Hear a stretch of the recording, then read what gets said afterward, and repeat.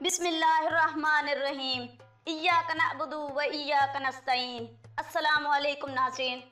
شعبہ طب سے وابستہ تقریباً تمام ماہرین کا ماننا ہے کہ روزہ رکھنے سے انسانی جسم کو لاتعداد فوائد حاصل ہوتے ہیں۔ جس کا سادہ مطلب یہ ہوتا ہے کہ انسان کی قوت مدافعت بہتر ہی نہیں، بلکہ بہترین ہو جاتی ہے۔ یہی وجہ ہے کہ کئی ڈاکٹرز مختلف بیماریوں کے مریضوں، بالخصوص پیٹ کی بیماری والوں کو خصوصی طور پر روزہ رکھنے کی تلقین کرتے ہیں۔ لیکن کیا کہنے سندھ کے وزیر اعلیٰ مراد علی شاہ کے، جس نے کفار کے کرونا ایجنڈے کو کامیاب بنانے کی قسم کھا رکھی ہے؟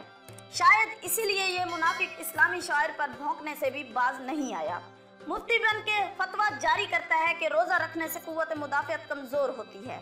اور میرے خیال سے لاکھوں ان پڑھوں نے اس کی بات کو سچ مان کر آج روزہ بھی نہ رکھا ہوگا۔ ناظرین، یہ لوگ مسلمان بھی ہیں یا نہیں؟ نام سے تو سید ہیں۔ کیا واقعی سید ہے یا برائے نام منافق ابن منافق ہے؟